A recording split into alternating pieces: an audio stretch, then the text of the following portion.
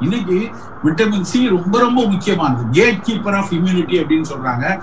உலக அளவுல நிமோனியாவுக்கு எதிரான போராட்டத்துல விட்டமின் சி உடைய பங்கு இந்த நிமோனியால முன்னாடி இந்த வைரல் நிமோனியாஸ் வேற வேற பாக்டீரியா நிமோனியாக்கெல்லாம் விட்டமின் சிங்கிறது ரொம்ப ரொம்ப முக்கியம். பல ஆய்வறிக்கைகள் வந்திருக்கு. விட்டமின் சி வந்து ஒரு கேட் கீப்பர் ஆஃப் இம்யூனிட்டி அப்படின்னு. நம்ம கிட்ட விட்டமின் சிக்கு என்ன குறைவு ரொம்ப ரொம்ப ரொம்ப முக்கியமானது. ஒரு நெல்லிக்காய் பெரிய நெல்லிக்காய். உலகத்துல வேற எந்த ஊர்ல இல்ல நம்ம ஊர்ல இருக்கக்கூடிய நெல்லிக்காய் இணையா ஒரு விட்டமின் சி ரிச்சான ஒரு ஃபுட்டை பார்க்கவே முடியும் இவன் போய் வெளியூர்ல இருந்து ஒரு பெரிய நல்லா கலர டென்னிஸ் பால் மாதிரி இருக்க ஆரஞ்சு பழம் கிடைச்சாதான் அதுலதான் விட்டமின் சி நினைக்கிறான். சில பேர் நியூசிலாந்துல இருந்து கிவி பழம் வாங்கிட்டு வந்து அதை சாலட் போட்டு சாப்பிட்டாதான் அதுலதான் விட்டமின் சி நினைக்கிறான்.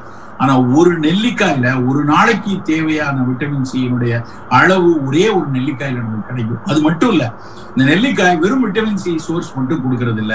அதை தாண்டி ஆங்கிலத்தில் மருத்துவத்துல ஒரு சொல் சொல்லுவாங்க இம்யூனோசெனசன்ஸ் அதாவது ப்ரொக்ரஸிவ் ரிக்ரிடேஷன் ஆஃப் இம்யூனிட்டி வயதாகும் போது மெல்ல மெல்ல குறையக்கூடிய ஒரு நோய் எதிர்ப்பாற்றல் குறைவே அப்படி சொல்வார்கள்.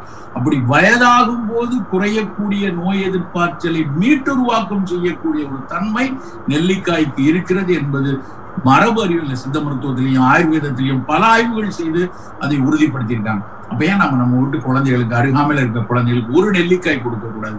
அந்த ஒரு நெல்லிக்காயினுடைய விலை இவ்வளவு குறைவு. இன்னைக்கு வந்து ஒரு கிலோ பத்து ரூபா பதினைந்து ரூபாய்க்கு வாங்க முடியும். ஆனால் ஒரு ஒரே ஒரு பழத்தை பதினஞ்சு ரூபாய்க்கு ஆரஞ்சு பழத்தை நம்ம வாங்கி அதுலதான் விட்டமின் சி இருக்கு அப்படின்னு நினைக்கிறோம். ஆனா நெல்லிக்காயில அவ்வளவு சிறப்பா